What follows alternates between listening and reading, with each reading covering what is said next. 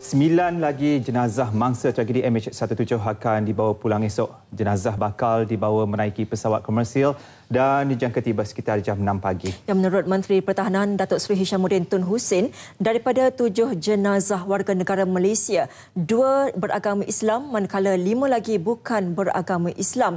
Dua jenazah warga negara Belanda juga bukan beragama Islam. Manakala lima jenazah akan diterima dalam keranda, manakala empat lagi dalam bekas abu.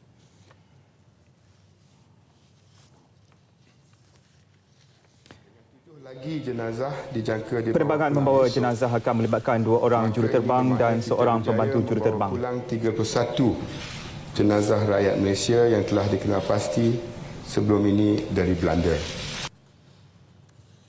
Sebelum ini, kerajaan telah berjaya membawa 24 jenazah rakyat Malaysia dari Belanda. Ia melibatkan 14 penumpang serta 10 anak kapal. Datuk Seri Hishamuddin bercakap dalam satu sidang media di Kompleks Bunga Raya di KLIA Sepang.